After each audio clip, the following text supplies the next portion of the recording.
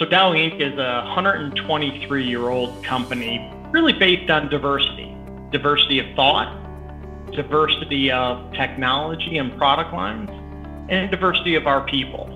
And we start that with thinking through some of our technologies.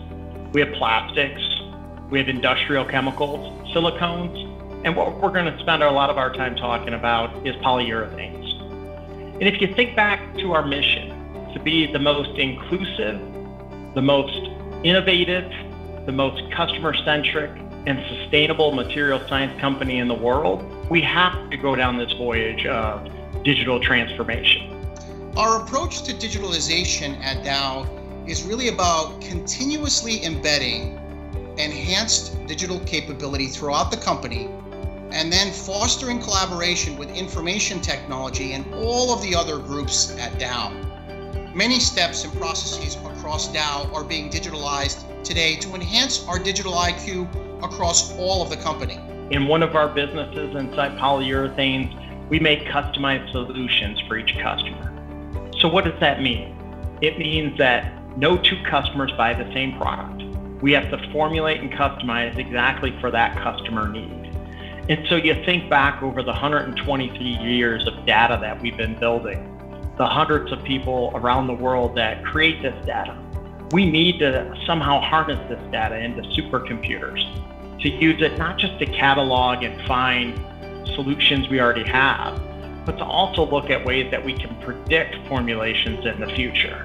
One of the interesting ideas about how you can take what we've learned from the formulation process within Dow Polyurethanes and how that has been now formalized as a predictive capability using AI and machine learning is that we can start to predict new products that customers are likely to come to Dow for in the future.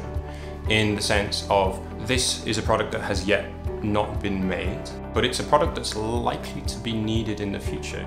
The 30 plus sites that we have around the world, the different technologies and different cultures, it's really more of a mindset issue. We've got them harnessed in supercomputers, and now it's time to unleash that power to start getting more predictive capabilities and truly the pinch point in terms of leveraging this across the, all the sites is really just a mindset change. One of the key parts of the collaboration between our team at Microsoft and Dow is understanding the differences in regions and how products vary across geographies and across regions. Through that collaboration, through that kind of sharing of knowledge, we can encode that into the models and we can ultimately allow the models to operate across multiple regions uh, and to create similar products um, that serve similar purposes that serve customers across the world and globally. So when I think about what the future holds for our relationship and where we're going to go with this, we will launch predictive intelligence to our comfort science industry in early 2021. And we'll be able to predict capabilities and formulations in that industry starting off in the early 2021. Now, our plan is to roll this out across other segments, completing it by 2022, where we will have predictive intelligence capabilities across our entire portfolio.